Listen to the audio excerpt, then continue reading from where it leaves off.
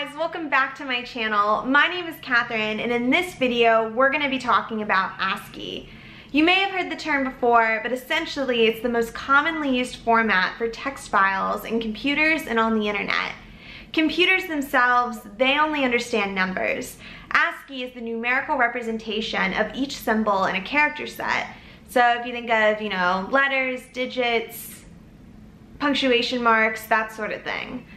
In ASCII, each symbol is represented by an integer, or more specifically, a 7-bit binary number. Let's take a look at how this works.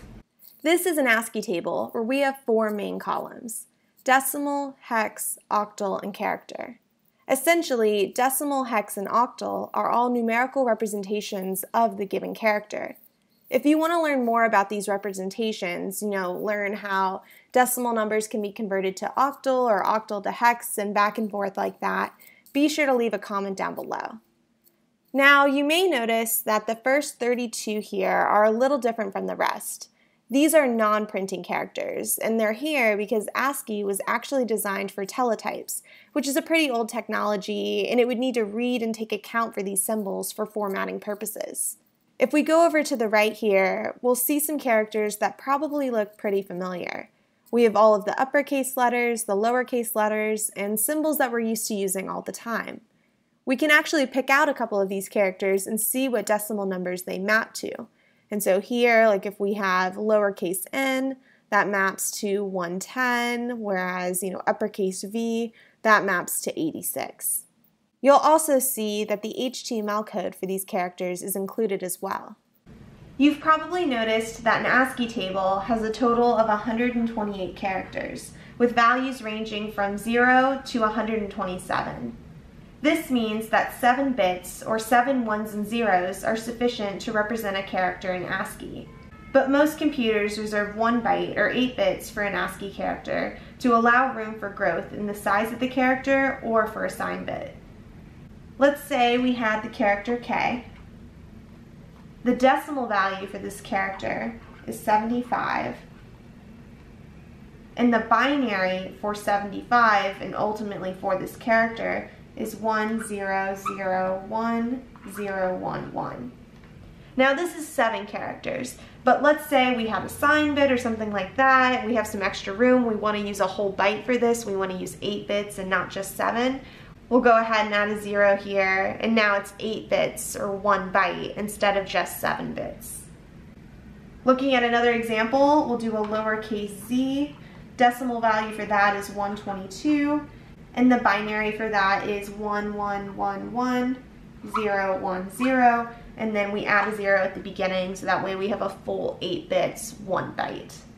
For one last example, we can do an uppercase B, decimal value for that is 66. And then the binary for that is 1, 0, 0, 0, 0, 1, 0. And then we can add a 0 at the beginning to help it match the others. And so then we have 4, we have 4, we have one full byte instead of just 7 bits. Ultimately, we can convert between characters and their ASCII codes in our programs as well. Let's try a quick example. So we're going to head over to an online editor called JDoodle and write some Python code. JDoodle is great if you just want to write a quick program, see what it does, without pulling out your IDE or text editor and command line. You can choose any language you like, but we're going to be doing this in Python 3. And in this case, we're going to convert a character into its ASCII code.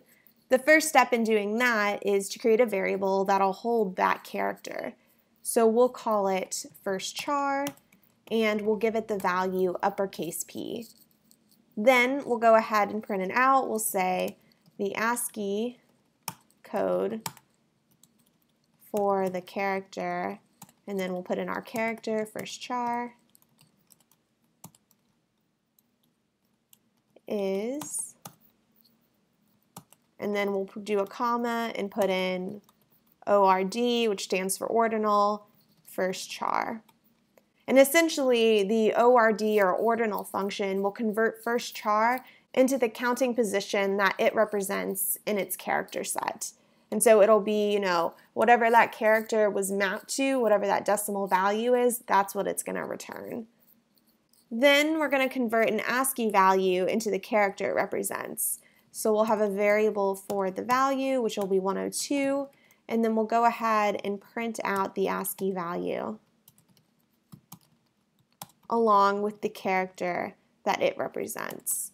And so to grab the character, we'll just do CHR value, and CHR stands for character. It's essentially changing the decimal value that's in that variable value and changing it into the character it represents.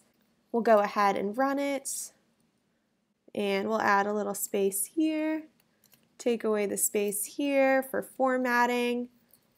And here we go. Uppercase P represents 80. 102 represents F. Let's go back to our ASCII chart to see if this works. Here's our ASCII table. If we go to 102 here, we do in fact get lowercase f.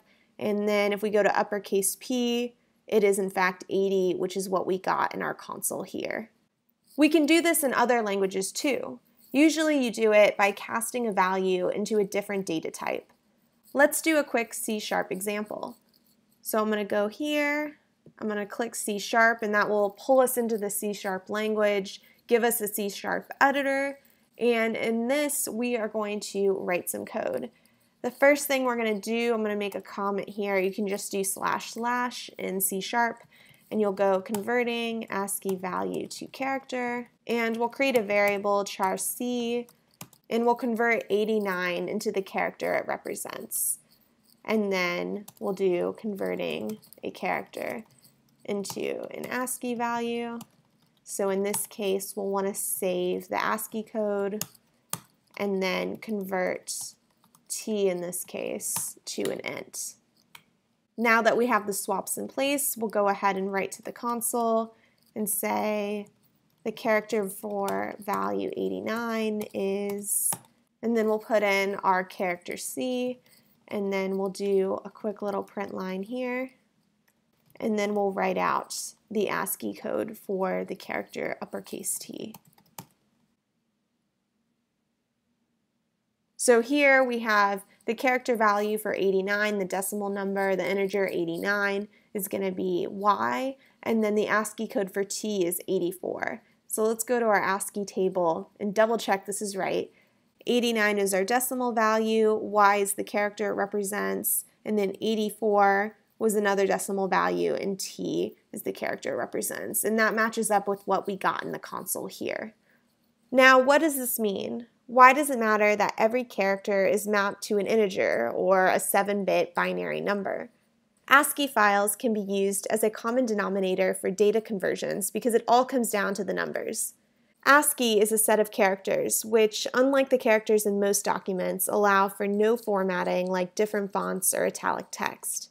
All the characters used in emails are ASCII characters, and so are all of the characters used in HTML documents. This means when something doesn't load properly in your email, you might get an unformatted version that's based off the ASCII characters. So that's it for this video. Be sure to subscribe if you want more technical tutorials and leave a comment down below if you have any questions. I make videos every Wednesday and there are a few freebies in the description box down below. I hope you learned something new in this video and thanks for watching.